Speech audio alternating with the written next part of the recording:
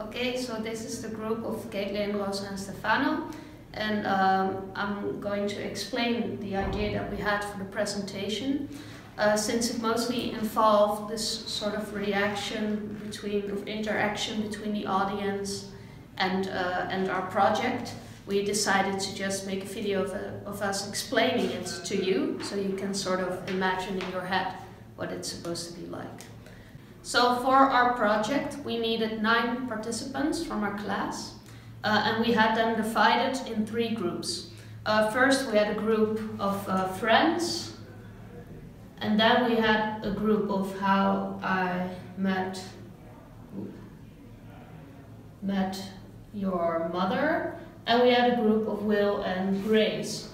So um, we would uh, have these three groups on stage, and we would sort of make a, a scene setting, uh, uh, mostly out of chairs, which were available in the theater, and we would put them like in a way that they were supposed to be on the set of each sitcom. So in Friends it would mostly be uh, sort of rebuilding the couch area, and How Your Mother, that would be rebuilding the bar area like this. So we put the chairs facing uh, this way, right? So this is the face of the chair and here the chair is looking in that direction. And then in Will and Grace it would be like, here's the chair uh, from the living room table and somebody would be standing here and walking around. So uh, we'd have two participants sitting here in this area and two here and two here.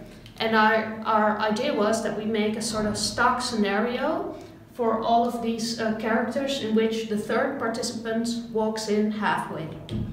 So um, all of these characters would be on the stage all of the time jabbering and uh, sort of laughing and acting like they had a good time. So jabbering is like this uh, way of speaking, which is not actually speaking. It's like the, the way the Sims do, right? The like this. Um, and then we uh, would have Caitlin, she would have made uh, some different kind of sounds which we would use uh, to sort of finish up these scenes with music and a laughing tape. So Caitlin is going to explain something about the sound later on in this video, but for now I have to explain to you that the audience will be sitting here so Fabiola, you'll be sitting here in the middle, watching three simultaneous scenes, which all have the same stock scene, which I made on paper.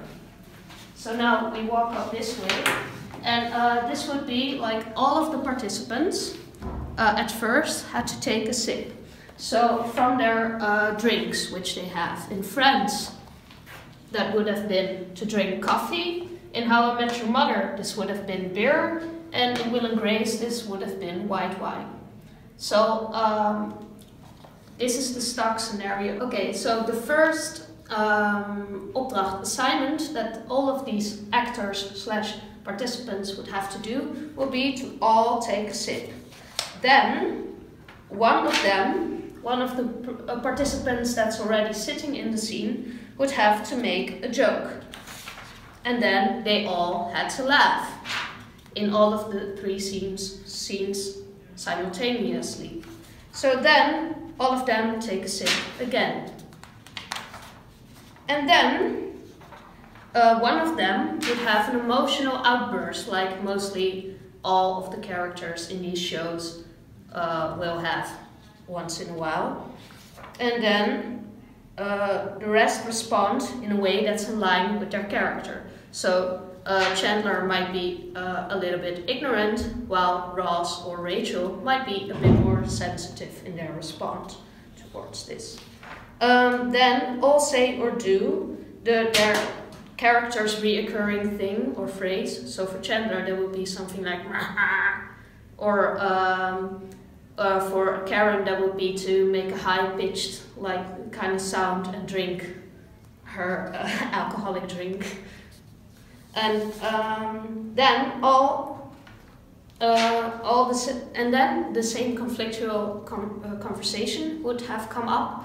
Like for Rachel and Ross, that would have been to reenact uh, with a jabbering kind of sound there uh, we were on a break discussion.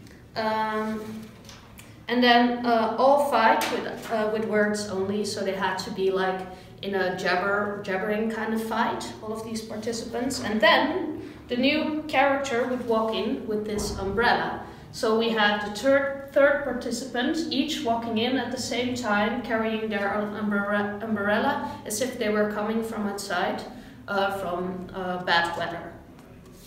Um, and then the rest respond in their way, uh, in a way that's in line with their character, uh, to the uh, coming in of the new character. And then the new character talks endlessly and annoyingly about how they've fallen in love with someone new.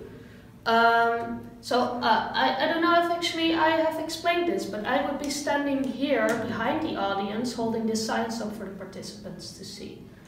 But if that wasn't clear already.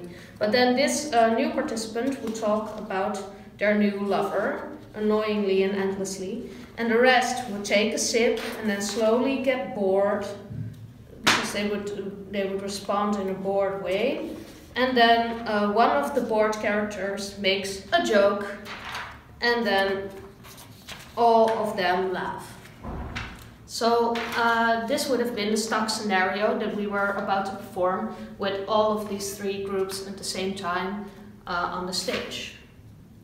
And then we still have these signs, which uh, Stefano would have been holding up, uh, to uh, instruct the actors, if they forget to jabber and uh, seem like they were having a good time, just hold this up. And these would have been for uh, the remaining audience of all the people who didn't uh, participate in this scene, to just instruct them about when to sing, sing along, or to say ah, or applaud, applaud and cheer, and laugh.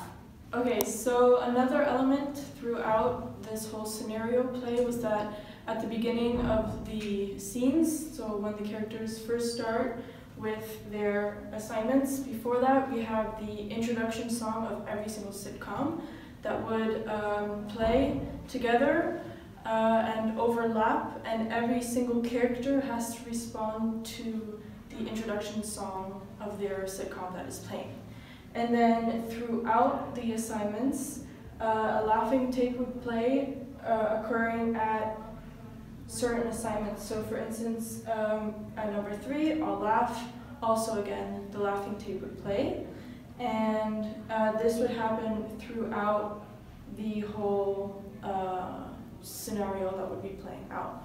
So this connects to how also in the actual sitcom you have these things that are reoccurring such as the introduction song at the beginning of every single episode, the laughing tape throughout the episode at certain points, and then uh, at the end of the episode, you would have the outro song, which would also play at the end of our scenario with all the signs being done. Uh, it also, again, ends with their outro songs playing almost simultaneously and overlapping.